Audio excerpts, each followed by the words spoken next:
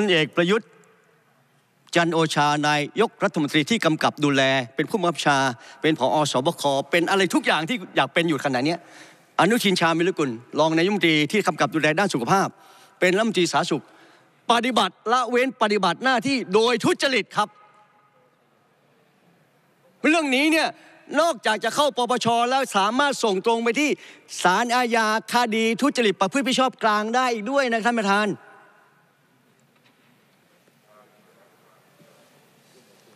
กระทำการในทางสอดทุจริตขัด ที่สำคัญคือละเมิดข้อสั่งการของตัวเอง ในการจัดซื้อหาชุดตรวจ ATK ผมมีเวลาไม่มากสไลด์ต่อไปครับ เรื่องนี้ยาวมากท่านประธาน เจตนารมณ์ท่านประธานครับ เจตนารมณ์ของการที่ต้องการชุดตรวจ ATK 8ล้าน5แสนชุดเนี่ยเกิดจากอะไร อันนี้บอกได้ทันทีครับ มันเกิดจากที่ชมรมแพทย์ชนบทเขาอาสาเข้ากรุงตามการร้องขอของสอปสชว่ามาช่วยตรวจหน่อยขนาดนี้มันเป็นคอขวดมาก เพราะมาตรการของพลเอกประยุทธ์ที่ออกมาว่าโรงพยาบาลไหนตรวจเนี่ยต้องรับเข้าการรักษาฆ่าประชาชนทางอ้อมเลยครับ ด้วยความเขลาไม่ฉลาดนี่แหละ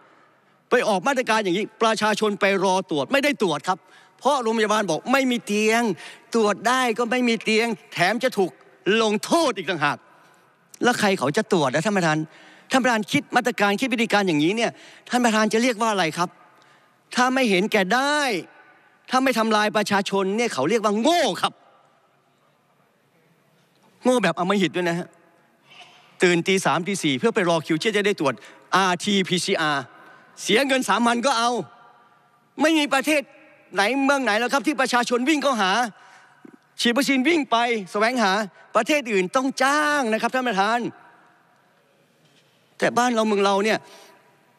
เขาวิ่งเข้าหา นี่เป็นโครงการที่แพทย์ชนบทได้รับการร้องขอจากสปชให้เข้ามาช่วยตรวจ เขาเอาชุดตรวจที่ได้รับบริจาคมา1ล้าน1แสนโดสจากสวิสไปตรวจ และเขาเอาจากโรงพยาบาลเขาที่ซื้อนะครับ ที่มีอยู่ขณะนี้มาช่วยตรวจ พอตรวจรอบแรกไป เครื่องมือมันไม่พอรอบสอง ตรวจต่อไปไม่พอเขาก็เลยบอกว่า สปสชต้องช่วยนะ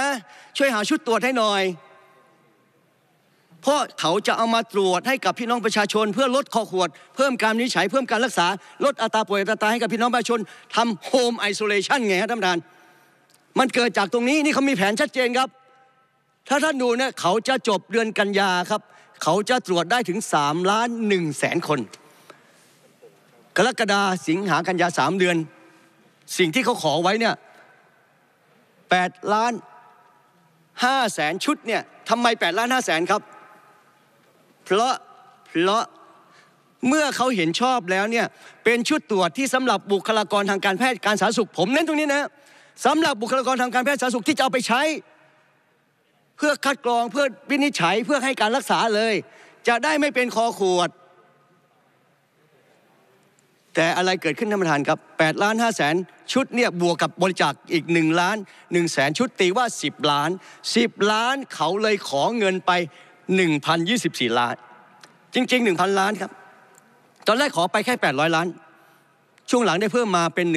1,024 ล้าน บวกกับค่าตรวจอีกชุดละ 10 บาทเขาเลยมีเงิน 100 ล้านขอไปด้วยไงท่านประธาน นี่คือเจตนารมณ์จะบิดเบือนไม่ได้ ถ้าไม่ให้กับบุคลากรหรือหน่วยงานทางการแพทย์การสุขมี 10 บาทต่อชุดทำไม ชัดครับท่านประธานไม่ต้องไปเถียงกัน เรื่องว่าจะเป็นสำหรับบุคลากรทางการแพทย์ตรวจที่เขาเรียกว่า professional use เนี่ยนะครับ มันเป็นถ้อยคำที่ฮิตมากที่จะเอาพลเอกประยุทธ์เข้าคุก home use อ่ามามันเป็น home use ได้ไง ที่เอามาแค่ล้วงล้วงจมูกเราไปตรวจ หมอ แพทย์พยาบาลเขาต้องการไอ้ก้านยาว แย่เข้าไปในโพรงจมูกที่ต้นคอ แล้วเอามาตรวจ เพราะว่าการวินิจฉัยมันแม่นกว่าท่านประธานครับ ไอ้ home use กับ professional use ไอ้สองตัวนี้มันต่างกันหน่อยท่านประธานครับ น้ำยาไม่ต่างครับบรรจุภัณฑ์อาจจะต่างนะครับบรรจุภัณฑ์เครื่องตรวจอาจจะมีแผ่นหยอดไอ้นี่อาจจะเอายัดเข้าไปแล้วหยอด แต่สิ่งที่มันต่างกันชัดเจนคือความยาวของก้านท่านประธานไอ้ที่ให้หมอตรวจเดี๋ยว professional ตรวจเนี่ยมันต้องแยงเข้าไปลึกก้านมันจะยาว เขาก็บอกว่าเขาถ้าไอ้ก้านยาวนี่มาได้เนี่ยเขาสามารถให้ประชาชนเอามาปั่นที่จมูกเขาก็ได้ด้วย เขาเลยขอไปไงครับ เป้าหมายเดิมคือ 10 ล้านชุดไม่ได้รับบริจาคมา1ล้าน1แสนเนี่ยเขาเลยขอแค่ 8.5 มันเลยเป็นที่มาของการจัดซื้อจัดจ้างที่สปสชเขาต้องการชุดนี้ ตั้งคณะกรรมการมาต่อรองราคากำหนดขอบเขตของงาน เพื่อกำหนดเงื่อนไขในการประมูล ที่เราเรียกว่าสเปคนะครับกำหนด TOR กำหนดเงื่อนไขการประมูล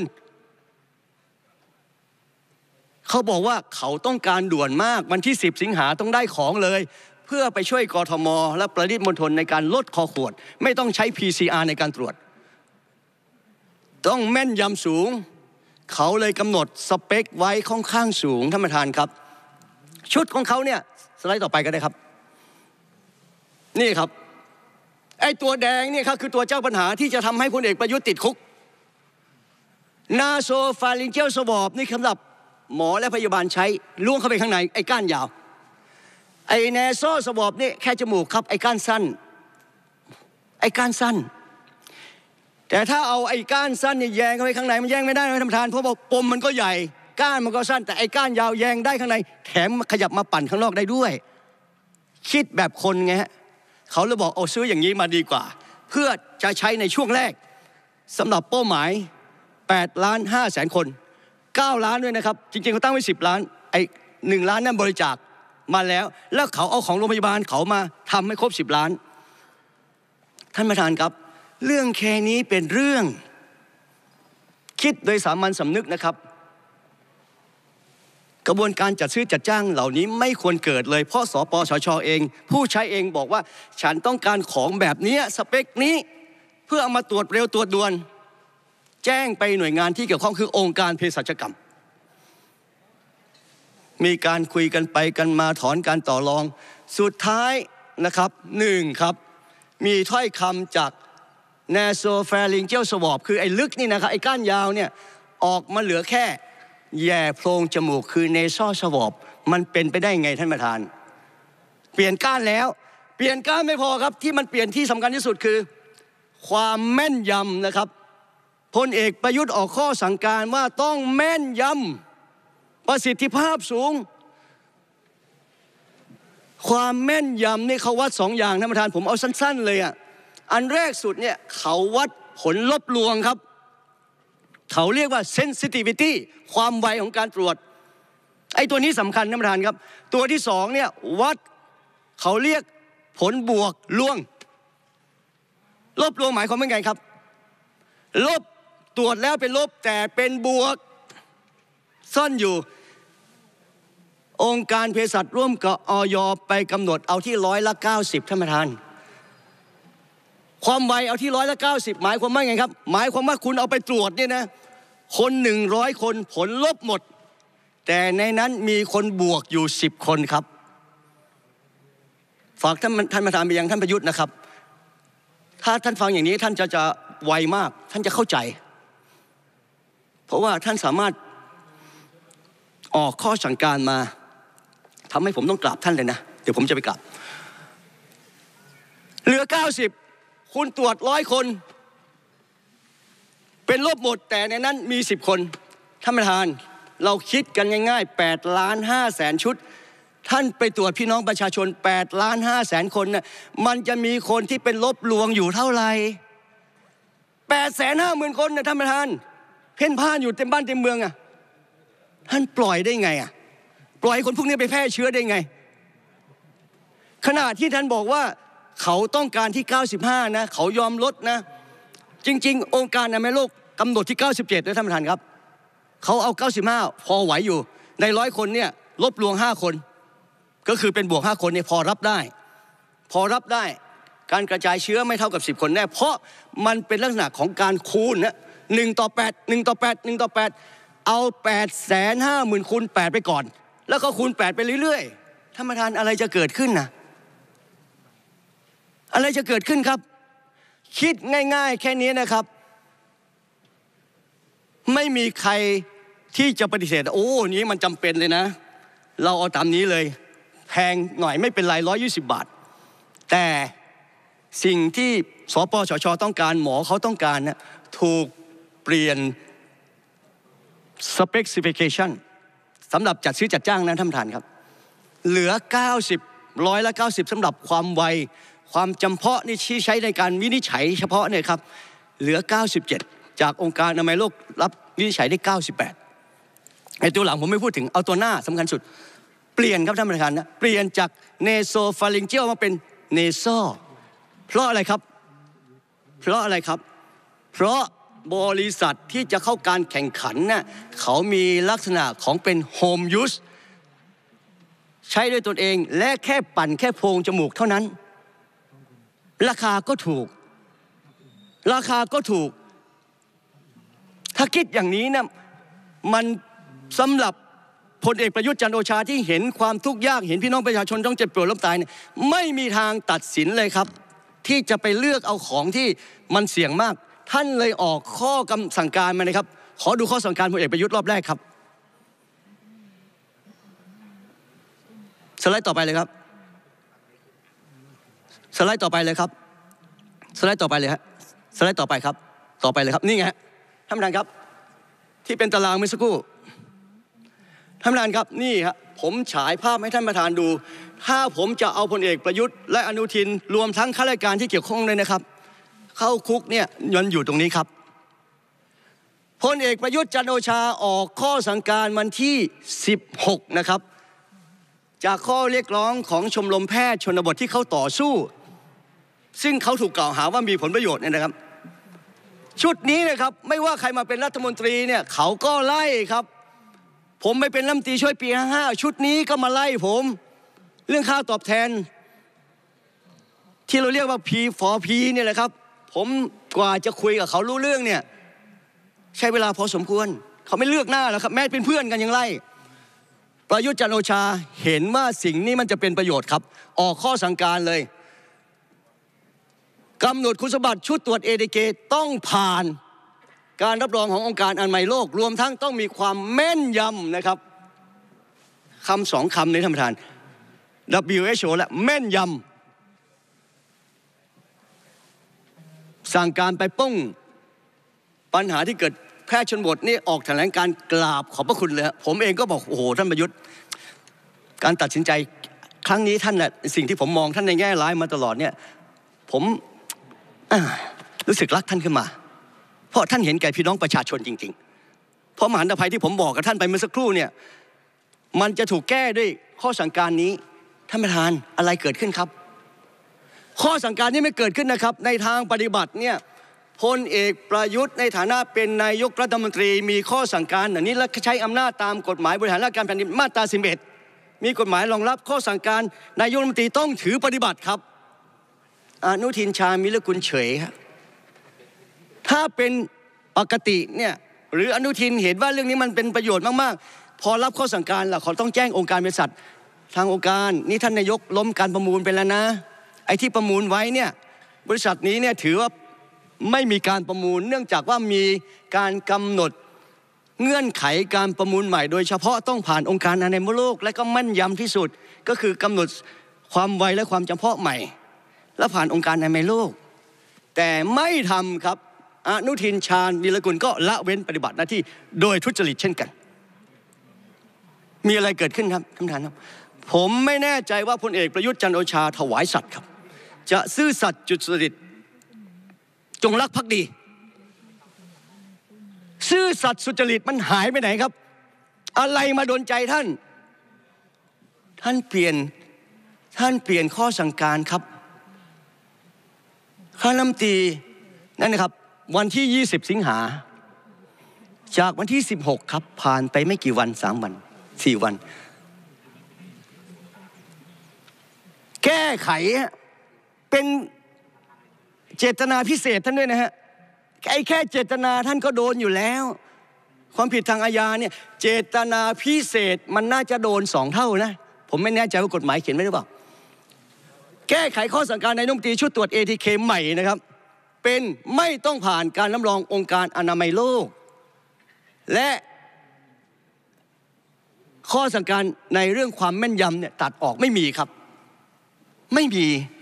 ท่านประธานไม่เกิดอะไรขึ้นครับพลเอกประยุทธ์กลืนน้ำลายตัวเองเขียนด้วยมือลบด้วยเท้า อะไรไปโดนใจพลเอกประยุทธ์ถึงขนาดนั้นน่ะมันมีเงื่อนไขอะไร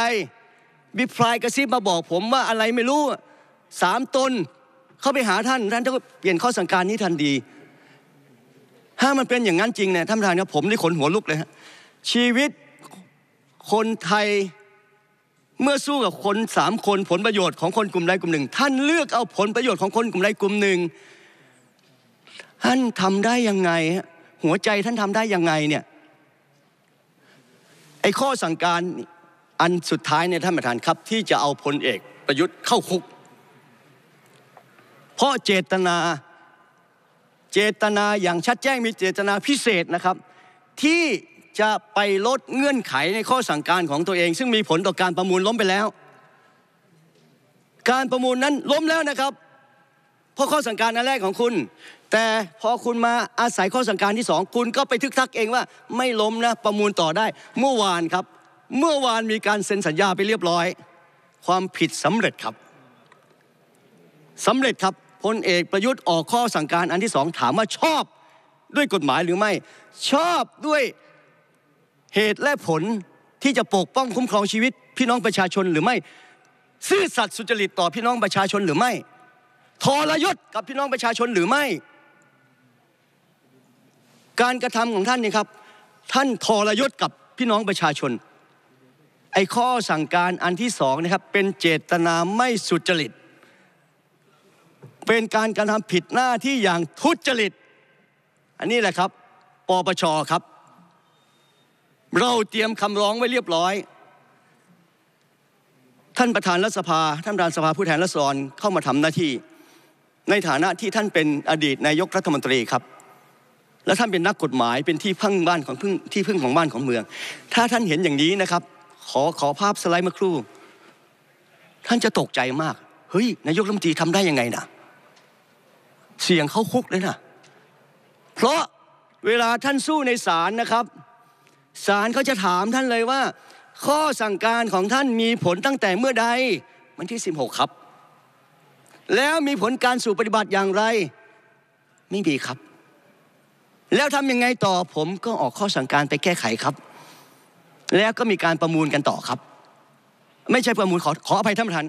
ประมูลเสร็จเรียบร้อยแล้วรอเซ็นสัญญาอย่างเดียว เซ็นสัญญาเรียบร้อยครับ ความผิดสำเร็จ ฝ่ายการเมืองฝ่ายประจำนะครับ ร่วมกันกระทำความผิด อย่างเป็นกระบวนการ โดยแบ่งหน้าที่กันทำผมไม่รู้อันไหนจะรุนแรงกว่ากันฝ่ายไหนจะโดนหนักกว่ากัน แต่แน่นอนความรับผิดชอบทางการเมืองฝ่ายการเมืองต้องมีท่านประธานครับผมถามว่าประหยัดเงิน 400 ล้านกับชีวิตคน 850,000 คน ที่จะมีคนติดเชื้อในนั้นนะครับ850,000คนจากการตรวจ8ล้าน5แสนคุณเนี่ย คุณเอา400ล้านไปแลกเหรอฮะ คุณอาจจะมั่นใจว่ายังไงฉันมีเสียงแน่ แต่อันนี้ปปชครับสารดีกาแผนกคดีอาญาทางการเมืองแน่นอนครับ ท่านไปให้ข้อมูลในการไต่สวนเขาเลย และที่สำคัญเข้าสู่สารอาญาคดีทุจริตประพฤติมิดชอบกลางครับ ฟ้องตรงครับฟ้องตรง ผมไม่ได้พูดถึงบริษัทใดบริษัทหนึ่งนะครับ นี่ผมพูดถึงหลักการทั้งหมดเลย คุณจะมีเจตนาแอบแฝงอย่างไรเนี่ย ผมไม่รู้ผมไม่ทราบ แต่สิ่งที่มันเกิดขึ้นเนี่ยที่ผมสันนิษฐานว่ามันส่อทุจริตเนี่ยเกิดจากการกระทำของพลเอกประยุทธ์จันโอชา ถ้าคุณไม่ทำอย่างนี้ ผมไม่สันนิษฐาน เพ ราะอะไรครับ เพราะเจ้าของเขาเนี่ยผู้ต้องการใช้เนี่ยกฎหมายเขียนชัดเจนมีความประสงค์ที่ต้องการใช้ใช้วิธีจัดซื้อจัดจ้างแบบเฉพาะเจาะจงได้ตามพระราชบัญญัติว่าโดยการจัดซื้อจัดจ้างพัสดุบริหารพัสดุภาครัฐ ปี 2560เขาเขียนไว้ชัดเจน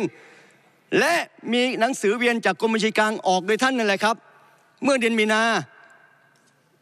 ว่าไม่กำหนดวงเงินด้วยสำหรับ เรื่องของโควิดทุกชนิดแม้แต่เงินฟื้นฟูเยียวยา ท่านทำมาตลอดครับ เจาะจงมาตลอด แต่เรื่อง ATK ทำไมไม่เจาะจงทำไมต้องปล่อยให้องค์การไปใช้ระเบียบการจัดซื้อขององค์การที่ได้รับข้อเว้นจากกฎหมายฉบับนี้นะครับมาตราเจ็ดวงเล็บหนึ่งเนี่ยบอกถ้าเป็นองค์การที่เกี่ยวกับเป็นรัฐวิสาหกิจเนี่ยไม่ต้องปฏิบัติตามกฎหมาย ไปใช้ระเบียบของตัวเองได้ แต่เขาก็เขียน ระเบียบมารองรับครับ เขาก็เขียนวิธีเจาะเจาะจงมาเฉพาะเจาะจงในวิธีที่ 3 ด้วย และเขียนเน้นย้ำด้วยครับว่า ถ้าใช้วิธีการคัดเลือกเนี่ยองค์การเขามีสามวิธีที่สองคัดเลือกกรณีจำเป็นเร่งด่วนจะทำให้เกิดความเสียหายอย่างร้ายแรงเนี่ยให้ใช้วิธีเฉพาะเจาะจงได้ แต่ท่านไม่ใช้ครับ เพราะท่านกลัวว่าของของท่านที่มีราคา 70 บาทเนี่ยจะไม่ได้รับการเลือกถ้าเลือกเจาะจง ถ้าเข้าสู่การประมูลคัดเลือกอย่างไรก็ชนะ เพราะท่านเปลี่ยนเงื่อนไข เปลี่ยน TOR เปลี่ยนเงื่อนไขการประกวดราคาประมูลราคาหมดเลย ให้ทุกบริษัทเข้ามา เอาละผมไม่กล่าวหาใครครับ แต่ภาพมันเป็นอย่างนั้น การที่คุณไม่ซื้อเฉพาะจาะจง เป็นเพราะอะไรครับ ผมถามเลยวัคซีนซีโนแวคของพลเอกประยุทธ์จันโอชาท่านประธานครับ ใช้วิธีการให้องค์การเภสัชเป็นตัวแทน ซื้อด้วยวิธีเฉพาะเจาะจงจาก